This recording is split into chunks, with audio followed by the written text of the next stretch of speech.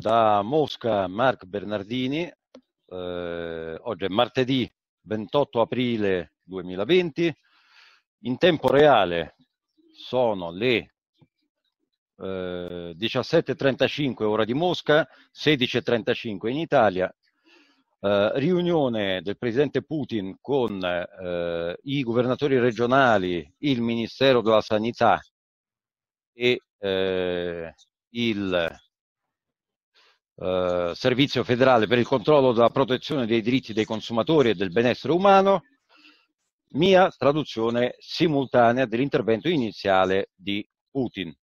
Le cifre stanno crescendo continuamente. Gli apparati di ventilazione artificiale all'inizio dell'anno erano 60-70 unità al mese. In aprile più di 800. A maggio saranno 2500. La produzione di mascherine è aumentato di 10 volte, da 800.000 eh, al giorno a 2 milioni e mezzo in aprile.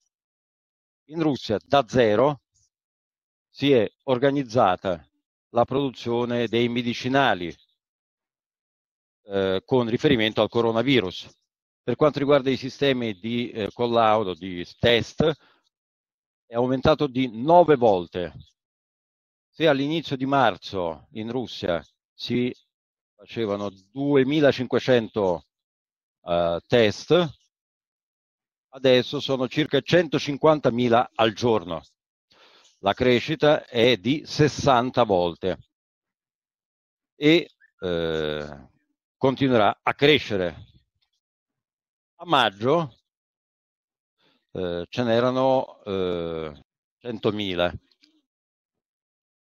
Certo, rispetto a quello che era poco tempo fa è tanto, ma rispetto a quello che occorre adesso è ancora poco, non è sufficiente.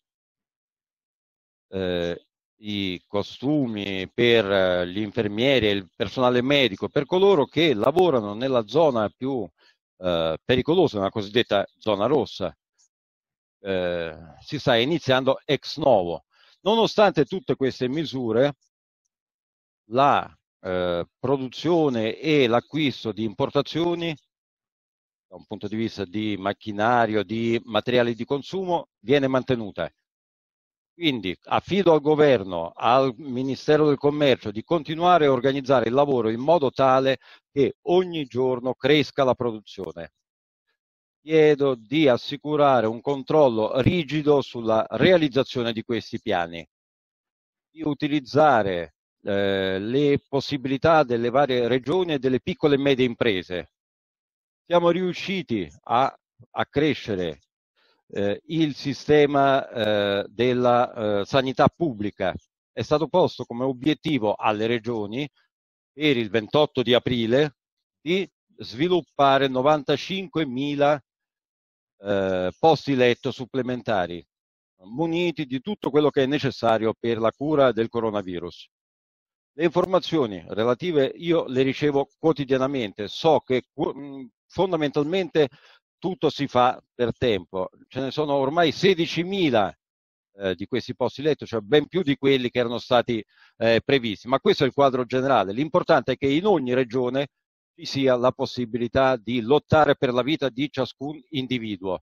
Cioè non bisogna fare che da qualche parte ce n'è, da, da altre parti non ce ne sono. Un'altra cosa che ritengo importante, con l'epidemia tutto il mondo si è scontrato per la prima volta e adesso, grazie agli scienziati, i medici, sappiamo di questa eh, malattia pericolosa molto più di quello che sapevamo poco tempo fa e quindi abbiamo la possibilità di costruire di prevedere, di eh, fare la strategia in maniera più efficace. Inoltre, no, la nostra esperienza personale anche all'estero di lotta all'epidemia ci dice che la, le decisioni prese ieri, già domani, dopodomani, potrebbero non essere sufficienti.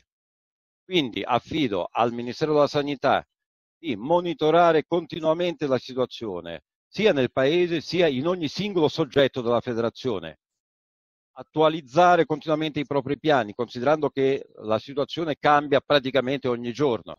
Ripeto, dobbiamo agire preventivamente, come abbiamo fatto finora, e se sarà necessario eh, intraprendere misure di eh, eh, nuovi posti letto supplementari, laddove eh, magari in questo momento ci sono delle riserve, in futuro potrebbero non essere sufficienti. Bisogna essere pronti a qualsiasi sviluppo. Mi rivolgo anche ai dirigenti delle regioni. Se vostro piano di eh, sviluppo delle, dei posti letto è stato realizzato, non vuol dire affatto che dovete fermarvi. Fateci sapere, utilizzate qualunque possibilità per accrescere le risorse, le risorse e le possibilità della sanità in regione senza aspettare gli ordini dall'alto. Un'altra cosa di principio importante adesso, la presenza di posti letto è un, un punto importantissimo, ma per lottare con efficacia contro l'epidemia bisogna attivare tutto il sistema della sanità.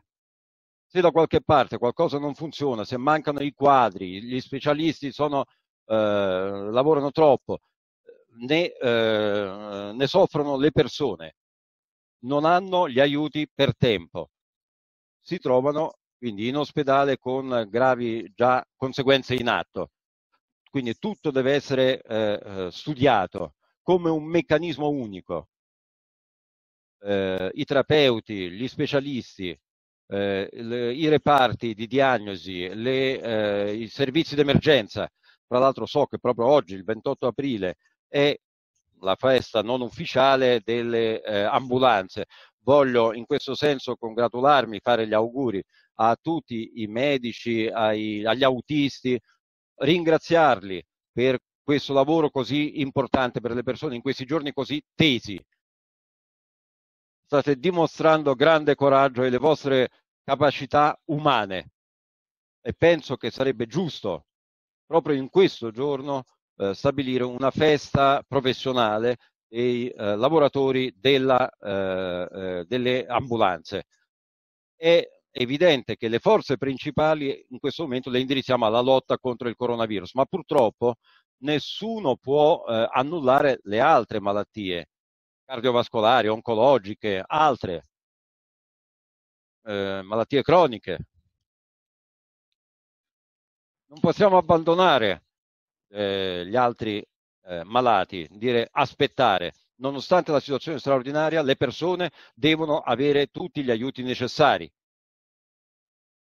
per sostenere l'economia, le famiglie russe, eh, conservare eh, i redditi.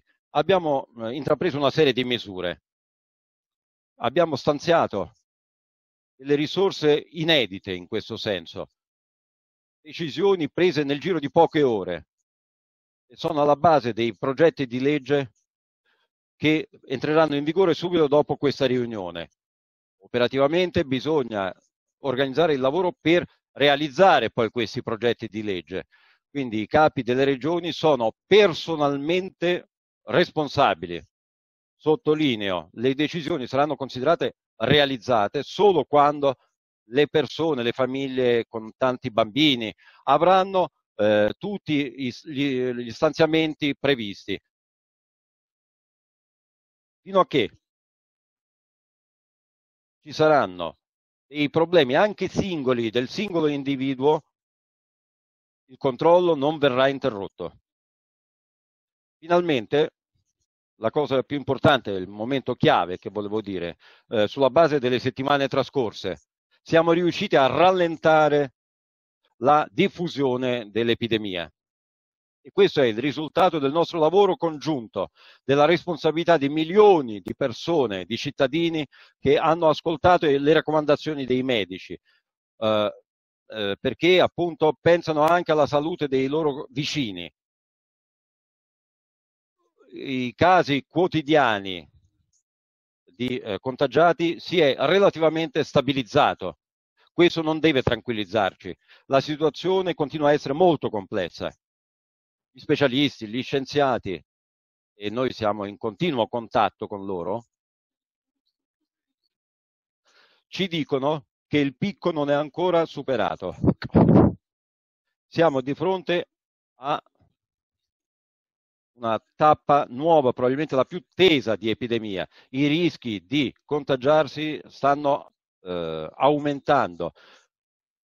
C'è ancora la possibilità di contagiarsi e questo può riguardare ciascuno di noi e proprio in tal senso su quello che ci occorre ancora fare tutti insieme ne voglio parlare separatamente. Tutti noi abbiamo bisogno di raccoglierci, disciplina e mobilitazione. Dobbiamo far sì che l'epidemia vada scemando. Questo ci darà la possibilità in futuro, passo dopo passo, eh, di eh, eh, togliere le limitazioni e quindi tornare a una vita normale. Ovviamente tutti noi abbiamo nostalgia di questa vita normale, tutti aspettiamo, ma più saremo rigidi noi cittadini della Russia nel rispettare questi requisiti, più manterremo le regole di autoisolamento e quarantena e più rapidamente tutto ciò passerà. Certo, tutti vorremmo che finissero il, al più presto queste limitazioni, ma confidare che la minaccia adesso è minore e quindi questo non ci riguarderà sarebbe irresponsabile e pericoloso. In questo senso ho eh, preso le seguenti decisioni. Primo, abbiamo davanti eh, tutte le feste di maggio. Tra di loro ci sono dei giorni di lavoro, il 6, 7 e 8 maggio. Sappiamo che anche in una situazione normale molti non lavorano poi in questi giorni, eh, se li prendono comunque di ferie. Adesso a maggior ragione non si può rischiare, quindi ritengo giusto eh, annunciare questi giorni come festivi, mantenendo gli stipendi. Considerando tutte le feste di maggio, il periodo delle, delle festività continuerà fino all'11 maggio compreso, però attiro la vostra attenzione mantenendo tutte le misure profilattiche eh, adottate in questo momento nelle regioni. Secondo, eh, i capi delle regioni eh, avranno, eh, manterranno le loro possibilità eh, supplementari. Di nuovo, attiro la vostra attenzione, cari colleghi, bisogna eh, agire conformemente e eh, alla situazione attuale nelle singole regioni. Non si possono prendere regioni, eh, non si possono prendere decisioni eh, come fotocopia eh, uguali in tutte le regioni. Questo potrebbe solo inficiare e portare dei danni. Terzo, ci rendiamo conto che la situazione nelle regioni si va sviluppando in maniera diversa. Qualcuno si è scontrato con l'epidemia prima, tra i primi, da qualche altra parte eh, è successo più tardi. Le limitazioni, l'elenco delle misure sono quindi diverse. Dobbiamo considerare tutta la complessità di questi processi, esattamente come il fatto che quando nel paese il picco dell'epidemia sarà superato, in singole regioni magari la situazione rimarrà ancora tesa. La minaccia non, non scomparirà dappertutto eh, contemporaneamente, quindi parlare di un eh, annullamento delle limitazioni dappertutto subito è impossibile.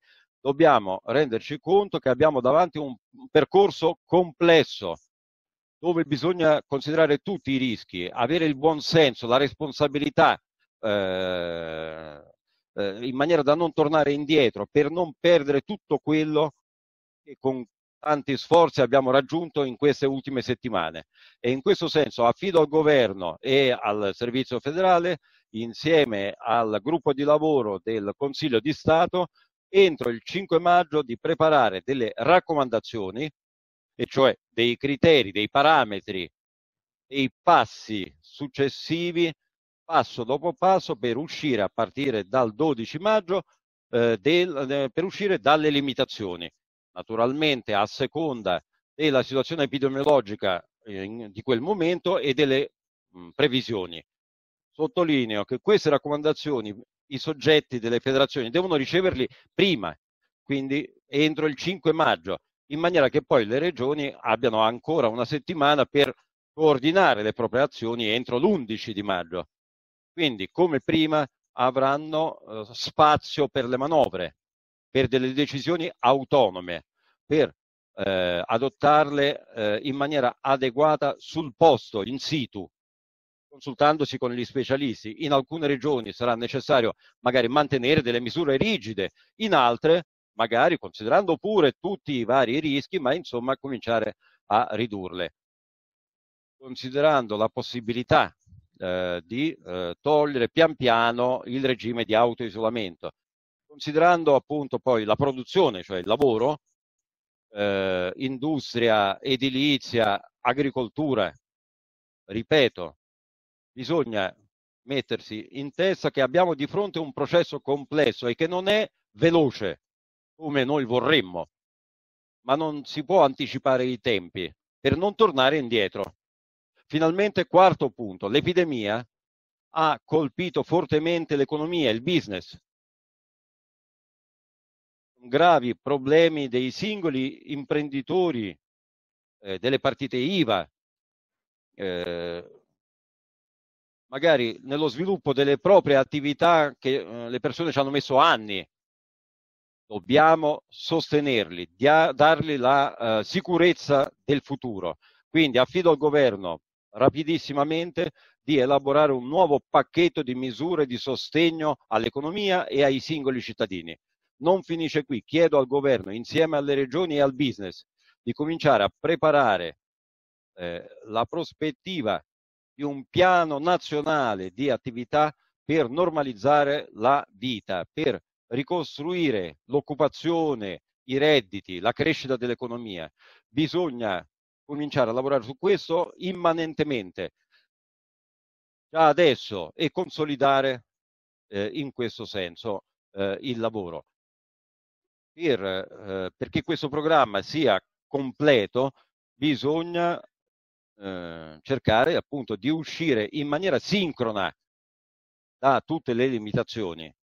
Sottolineo che eh, l'obiettivo strategico di questo piano non è solo quello di stabilizzare eh, ma di assicurare dei cambiamenti a lungo termine dell'economia, compresi, compresa la situazione che in questo momento c'è nel mondo. E in questo senso quindi do la parola al eh, ehm, eh, capo del servizio federale. Noi con questo terminiamo la nostra traduzione simultanea. Ripeto, Marc Bernardini da Mosca, eh, sono le 17.52 di Mosca, le 16.52 eh, in Italia. A presto risentirci.